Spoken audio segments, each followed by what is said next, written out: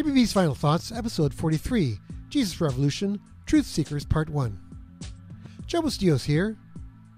If one has a nuanced understanding behind a tale, truth is often stranger than fiction. But that doesn't deter movie makers from putting their own spin on their subject matter. As a recovered Jesus freak from the 1970s Southern California, I was curious what spin the movie makers of Jesus Revolution were going to take. Let's just say Christian cinema has a reputation for outdoing Hallmark when it comes to formulaic plots, mustache twirling villains, and wonderfully unrealistic portrayals of reality. Just ask the guys at God Awful Movies. But in this case, the story of the beginning of the Jesus movement in Southern California in the late 1960s 1970s felt firmly grounded. They focused on the two main relationships between Pastor Chuck Smith and evangelist hippie Lonnie Frisbee, and the beginning of the relationship between high school students Greg and Kathy. Comparing this movie to recent biopics like Bohemian Rhapsody or Rocketman, I commend the makers for not setting up any strawman villains and for not having something overtly supernatural as a pivotal element to the story. However, make no mistake, Kingdom Story Company is a Christian studio, so the Bible gets quoted a lot, and the characters are quick to pray over every situation as if that's what everyone does. Having some familiarity with the story, I was intrigued at what they would include and where they were going to end this story. Click the link below to watch the trailer. I love Lonnie Frisbee's line to Chuck Smith You're going to need a bigger church. Play Jaws music in the background. Speaking of music, I find that the use of Doobie Brothers tunes interesting because there is such a great catalog of actual Christian music from the era to pick from.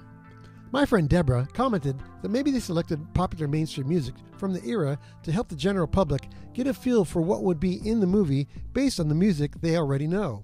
That's an interesting thought. So then, who is the intended audience for this film and who should see this film? I probably represent an unusual Venn diagram as someone who was a teenager in Southern California in the 1970s, went to home Bible studies with the Catholic variant of the Jesus Freaks, Catholic Charismatics, learned to play guitar and write music with my born again friends, studied religion at a Catholic university, and then at a Protestant fundamentalist university, getting a bachelor's degree in biblical studies at the latter. Then I got a second BA in journalism. Anyway, intended or not, I knew that I had to see this movie. But as noted, I'm weird that way. Are you someone who grew up in Southern California in the 1970s? Was your life somehow touched by the Jesus movement? I would imagine that anyone calling themselves evangelical or Christian with an interest in their own history would want to see this movie. I have no idea if someone with no connection to Southern California or the 1970s would be interested, and I'm curious if the young, as in less than 40, Christians would be interested in this story. It is a well told story, but I can't imagine that anyone outside of the evangelical Southern California 1970s combination is going to be interested in this movie.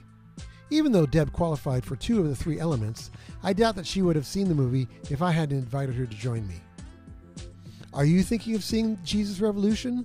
Right now, it's only available in theaters, which is why I'm rushing to post this podcast, so that you can see it before it possibly disappears. It should eventually be available to rent or buy from Amazon, Apple, or the other services. I know that there are Christian online outlets that will rent, stream, or sell a copy of the movie as soon as possible. I'm curious who will watch it and what their opinions might be. As noted in the title of this podcast episode, this spoiler free observation of the movie is primarily to share that this movie exists and hope that some of you see it so that we can talk about it.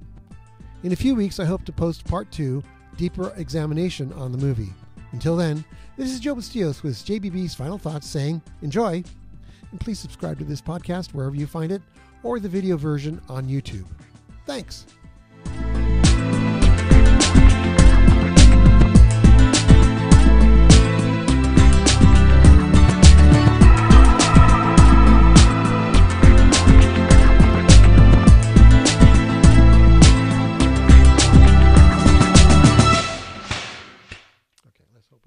this time.